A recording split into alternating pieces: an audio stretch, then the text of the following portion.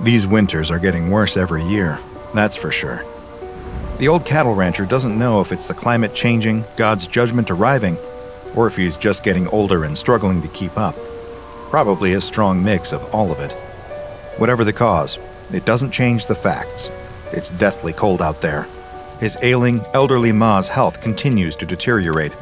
He hasn't heard from his delivery driver Jorge in days, and on top of it all, his loyal dog Maribel is out there barking into the darkness of the barn. The rancher heads out to fetch her. He doesn't know what he'd do if she froze. He whistles, but she doesn't look back at him. She just carries on barking up that road into the snowy night. The rancher wades through the snow and peers in the direction she's looking. There's nothing there, girl. Get inside. But Maribel keeps barking. She's insisting. He looks again. Is that? The rancher takes off running up the road. All thoughts of cold immediately gone from his mind, he races towards the figure as fast as he can. His frozen fingers fumble at the zipper on his parka. Icy wind stabs the insides of his lungs. Maribel shoots off ahead of him. There, he pulls the zipper down and wrestles the thick coat off of his shoulders just as he reaches the tiny figure. He drops to his knees and throws the coat over the shoulders of the little girl standing alone in the snow. Quick as he can, he wraps it tightly around her, pulling the hood up and over her head. He takes her tiny shoulders in his hands and gives her a shake. You okay? Hello? Can you hear me?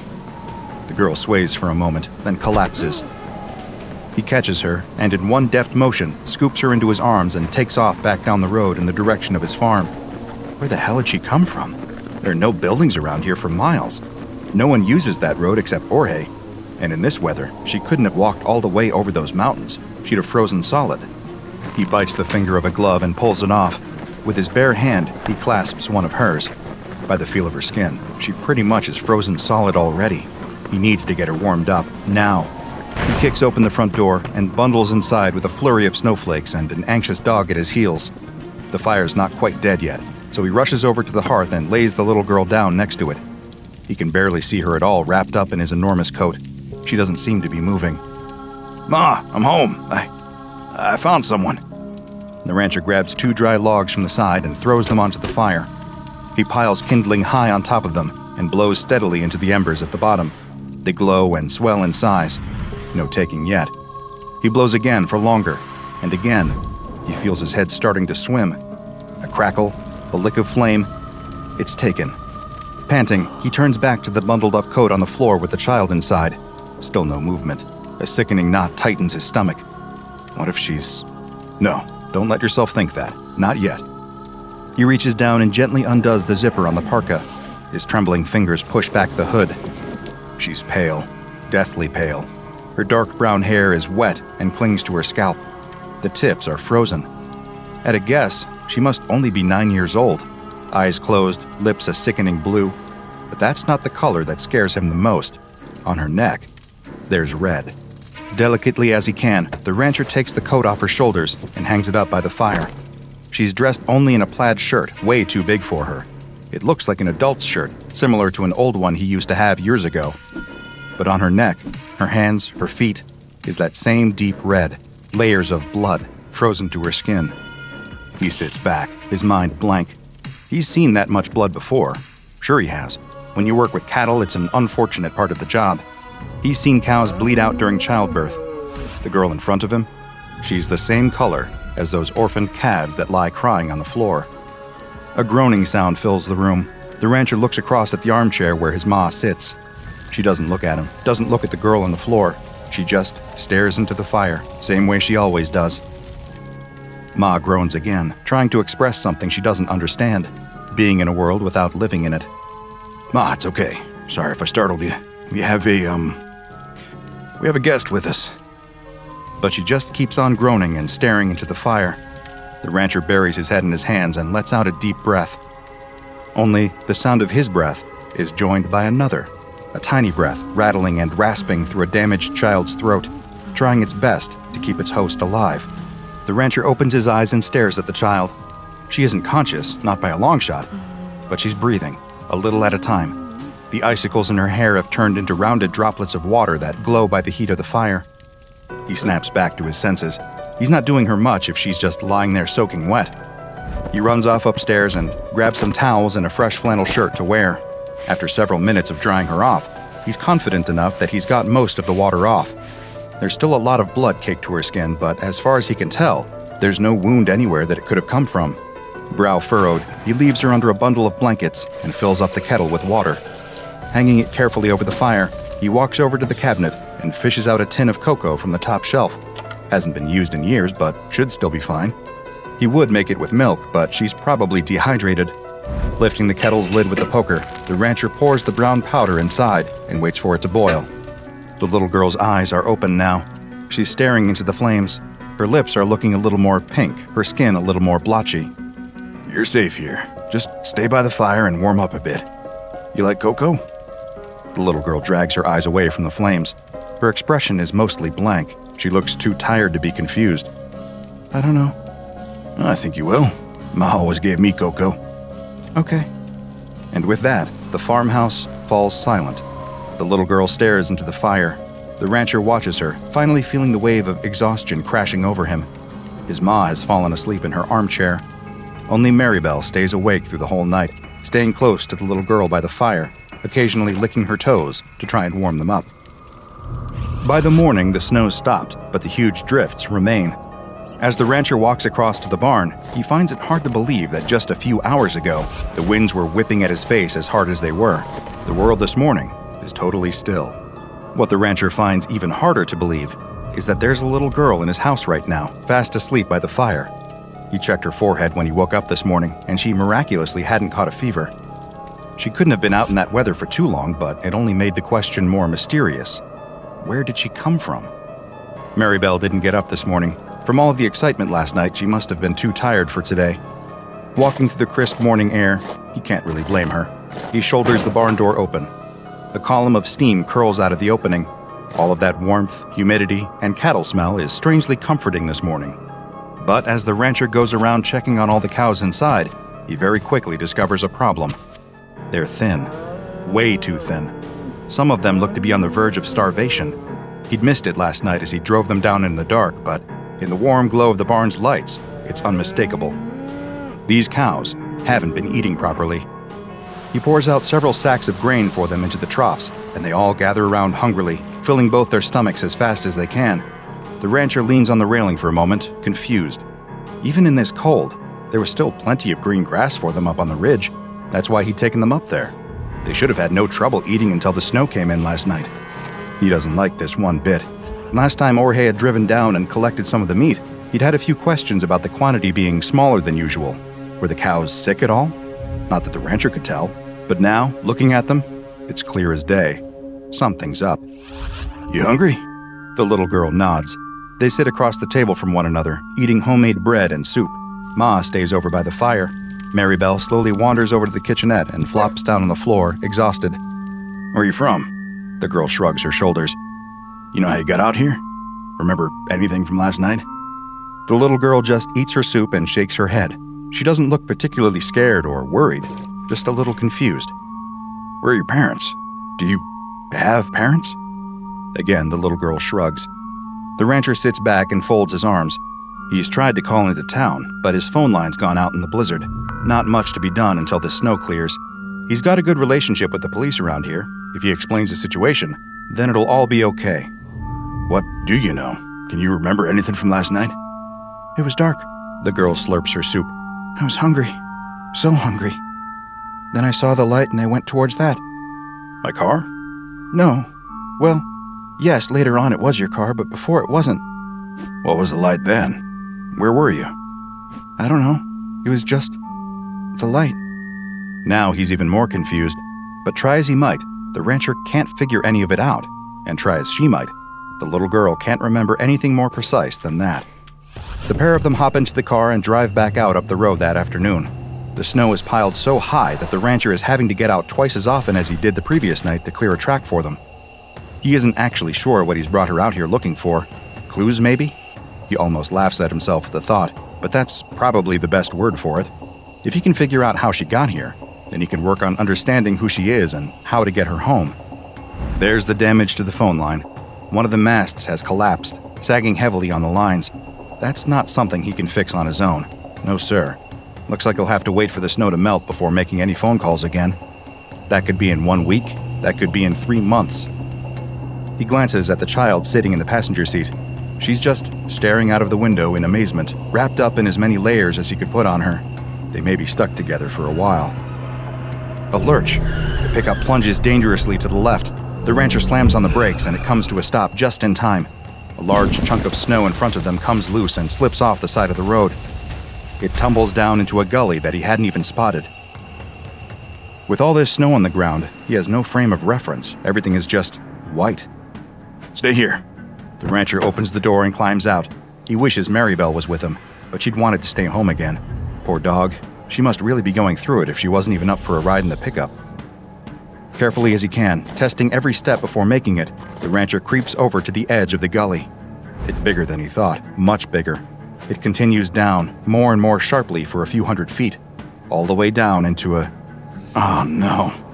There's a semi down there, a big rig, warped and bent, lying on the rocks. Just a glance is enough to tell the rancher it's Jorge's, but he just keeps staring at it in disbelief. Can't be. It. But it is. Stay in the car. The rancher reaches past the little girl and into the back seat. Grabbing a pair of crampons and some rope, he straightens up and looks at the girl.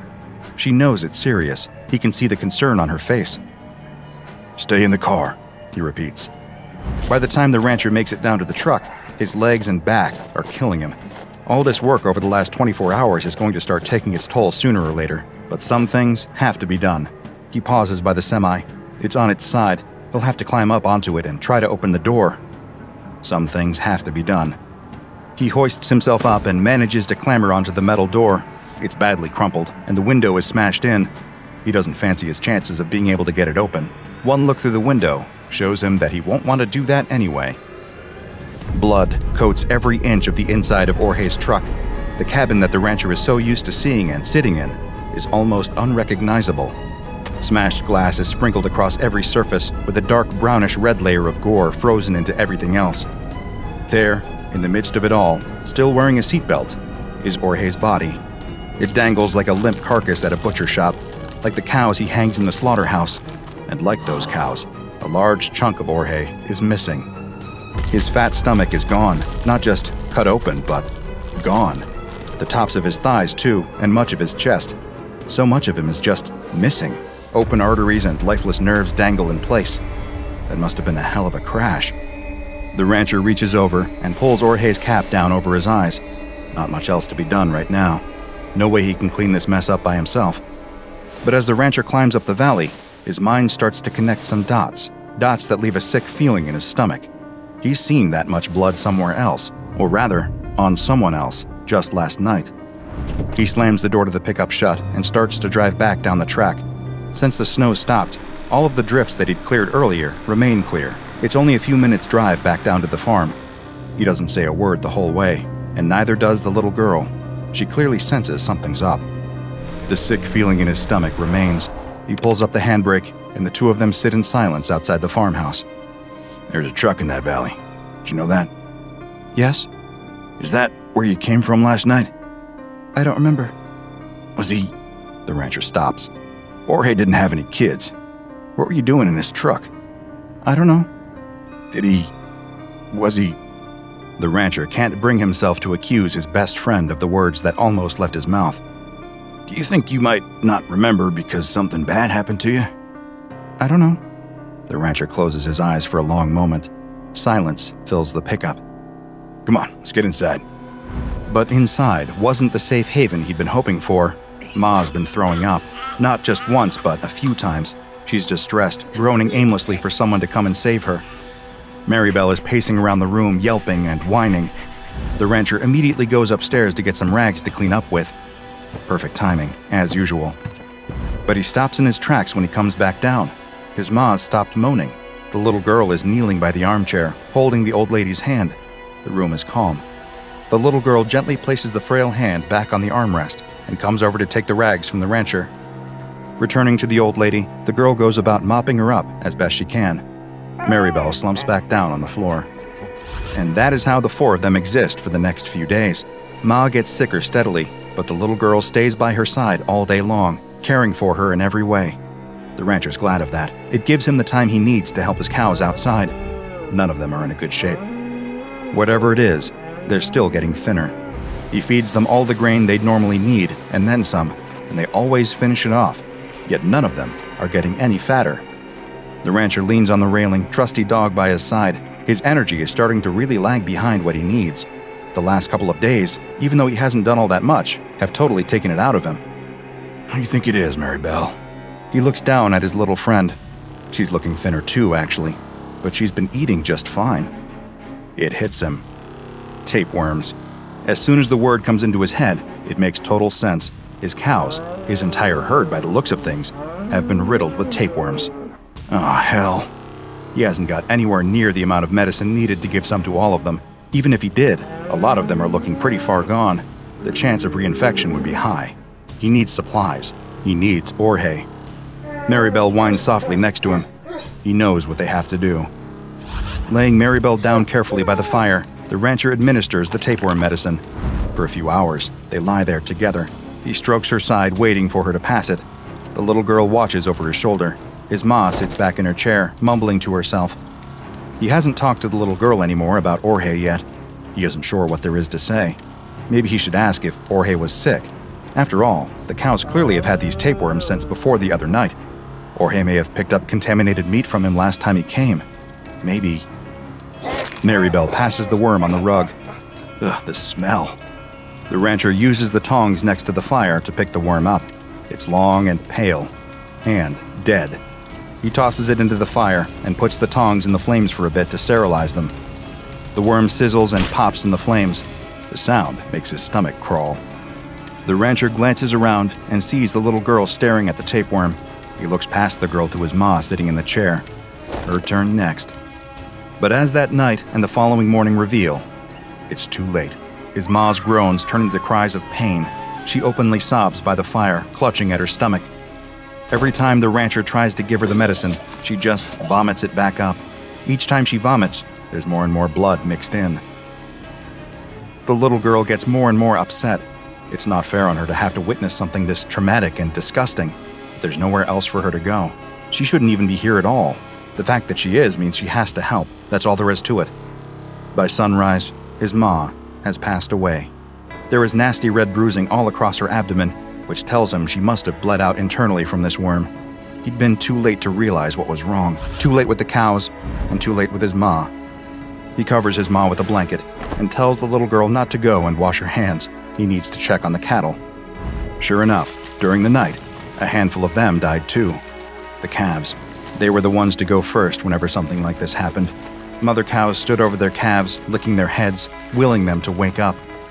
The rancher drags each body out to the back and burns them. He can't risk any more contamination. As the carcasses burn, he allows himself to cry. But when the rancher comes back into the house, it's full of noise, a noise that takes his brain a long time to comprehend. Crying, but not his own, not the little girl either. No, it was a new sound.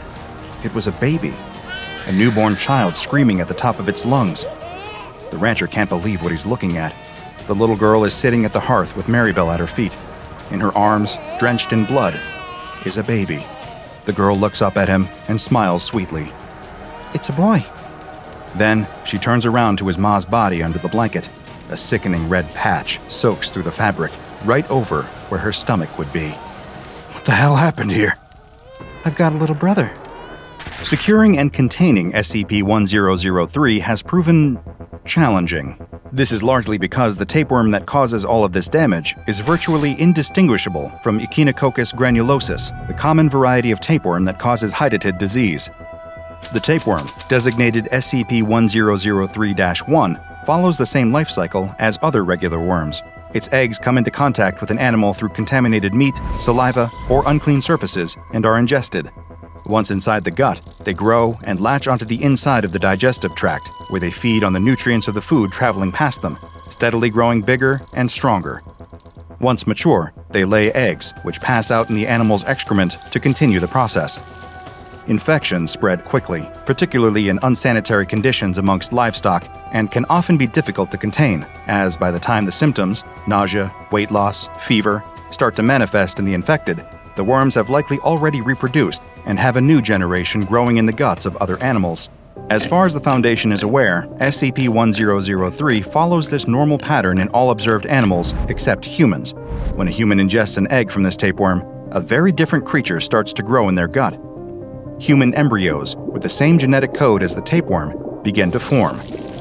The rate of their growth is greatly accelerated, however. By just eight weeks, they are as mature as the typical three week old neonate or newborn child, although similar in size to an eight week old embryo at 13 to 16 centimeters. Many eggs usually enter this fertilization period, but almost all of them die before having a chance to develop much beyond the early stages. They stand the best chance of survival when buried in the hepatic tissue, where they can absorb plenty of nutrients from their host. The host at this point usually starts to experience mild symptoms lethargy, the occasional stomach cramp, nothing particularly severe, yet. The embryos that survive soon develop rows of temporary, razor sharp teeth. At this point, passively absorbing nutrients is no longer enough for them. They bury their teeth into the soft tissue surrounding them and begin to eat. Once they enter this stage, their rate of growth increases exponentially the more flesh they consume.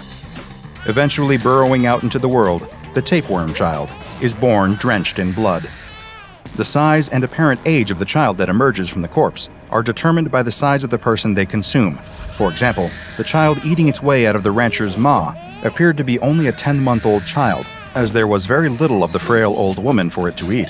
By contrast, the little girl who emerged from Jorge's gut had plenty of fat to feast on, and so was able to grow to the size of a nine year old. Once the child emerges, the teeth that they'd used to eat their way out quickly become loose and are replaced by regular human teeth. The children themselves have no memory at all of where they've come from or what they are.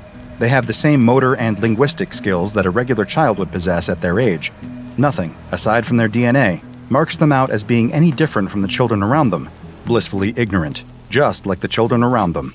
It is theorized that many of these children end up in orphanages. With no birth certificates or identifiable parents, they fall through the gaps in the system, quickly lost to the world. The only way to really track them at all is to follow the infections they cause. You see, these tapeworm children have one final curse they must live with.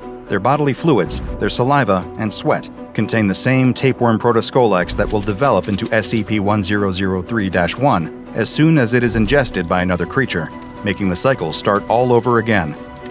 If you want to track down a tapeworm child, and I highly advise that you don't, all you have to do is follow the trail of nasty stomach infections, internal bleeding, and freak pregnancies amongst the outcasts of society. It, unfortunately, will not take long. There are currently 10 instances of SCP 1003 2 in containment. The children live in Bioresearch Area 13 under strict supervision. Researchers are only permitted to enter their cells whilst wearing full body biohazard suits, but first must have level 4 security clearance and must have written permission and can only enter with specific research goals agreed upon. All staff are regularly tested for the presence of any kind of tapeworms in their system. No other animals are permitted in this facility. If you want to support Dr. Bob while also getting influence over the anomalies we cover and an exclusive look behind the scenes, check out the Dr. Bob Patreon and become a junior researcher today. Now go and watch another entry, such as SCP 2119 Transmitting Parasite, for more perilous parasites. And make sure you subscribe and turn on notifications so you don't miss a single anomaly as we delve further and further into the SCP Foundation's classified archives.